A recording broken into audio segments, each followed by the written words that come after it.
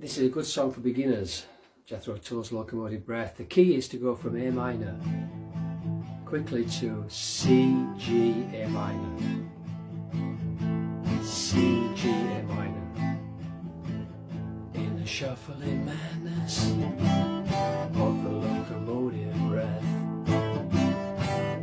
But the old-time loser headlong to his death. Oh, he feels the piston scraping, steam breaking on his brow.